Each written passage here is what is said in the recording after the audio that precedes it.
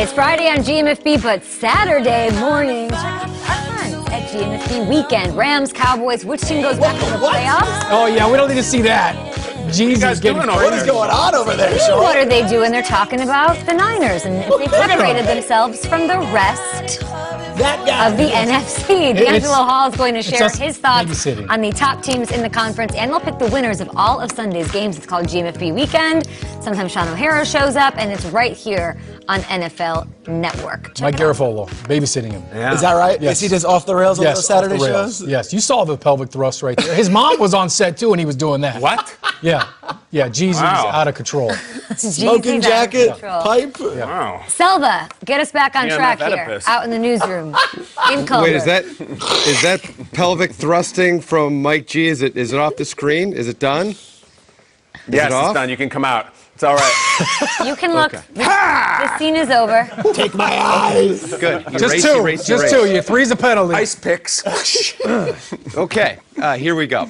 Well, Bucs quarterback uh, Jameis Winston spent his time in practice throwing tennis balls, and that's what happens when you suffer an injury to your hand. You're working on your grip, kind of important for a quarterback, right? Well, he's progressed from doing simulated throws during Wednesday's practice. Head coach Bruce Arians calling the injury day to day. The Bucs hoping he'll be ready for Sunday's tilt against the Lions. He's second in the NFL in passing yards and tied for second in passing touchdowns. However, his 23 interceptions are the most in the NFL. There's optimism on the Adam Thielen injury front. The Vikings receiver limited in practice again with his hamstring injury. He suffered the injury week seven against the Lions. He tried to return two weeks later. He hasn't seen any action since. Minnesota has a showdown with the Chargers on Sunday. 49ers corner Richard Sherman believes he could play against the Falcons if he had to, despite his grade 2 hamstring strain. Sherman expects to go the following week against the Rams. Remember, head coach Kyle Shanahan saying he expected Sherman to miss two weeks of action. NFL Network insider Ian Rapoport reporting he could be sidelined until January. Panthers interim head coach Perry Fewell letting us in on his pre-game ritual. Admit it, you were just a little curious. Come on. Well, Fewell telling reporters what he does. He puts a towel under his hotel room door, cranks up the heat, and does hot yoga. Fewell added after that he's ready to get his game face on. He says he then gets ornery, cranky, and moody and is ready to go to battle.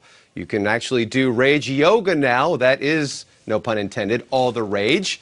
But either way, he likes to crank up that heat and get his focus, get the game face on. O'Hara, I know you did that. Come on. Na- namaste. Yeah, we used to call fuel the go. fire mm. When, when he was Yes, with the G. Towel under that the true? door, Shaun. When you were at Rutgers, you had a, a sock on the doorknob, didn't Yeah, you? you know the uh, fabric softener on the toilet paper roll. Sure, too, yeah, I you know just that. to- Wow, all just so that you can get the, the proper aroma. that old gag. Will smiles awkwardly. Thank you, Will. We love you. Bill Steelers, Sunday Night Football. Let's break it down, guys. Both teams currently holding on to an AFC wildcard spot. Can Duck Hodges and the Steelers take care of business at home? With more in this matchup, welcome Aditi Kinkhabwala. Good morning, football.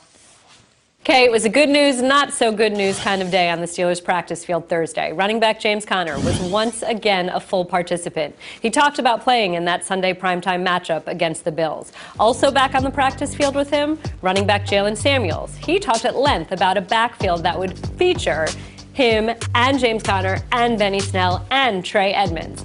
The not so great news wide receiver Juju Smith Schuster. He had to leave practice early and was listed as a limited participant. Now, of course, the Steelers' offense has been playing without Juju Smith Schuster for a few weeks now. Diontae Johnson, James Washington, they've really stepped up. But the truth of the matter is, after this game Sunday night, we may be talking about the defenses instead. Okay? We like a defensive battle in a world of offense. Aditi, you're the best. Thank you. The Bills holding on to the top wild card spot in the AFC. Here's the deal, Kyle. They're game up on the Steelers, game. who are currently sitting All in the final wild card spot by virtue of the conference record tiebreaker over the Titans. My question to you, my friend, is Yeah.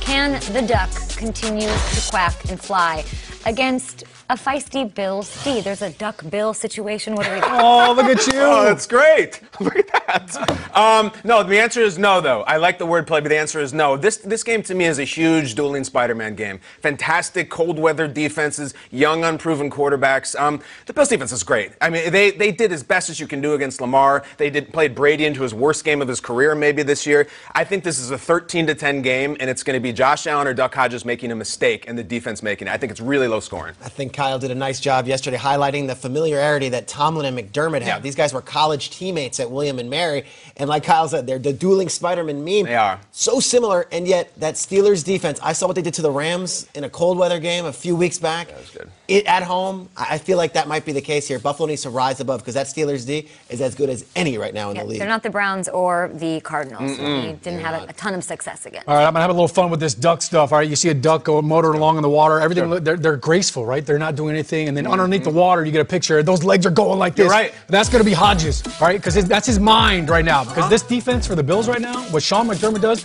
Listen, he's a, a Jim Johnson protege. And I remember studying Pressure. for him when he was in the Eagles. Every single time you turn on third down, it's a different front. It's a different look, a different blitz. So that's what Duck's up against right now. He's got to figure out what are they trying to do to me.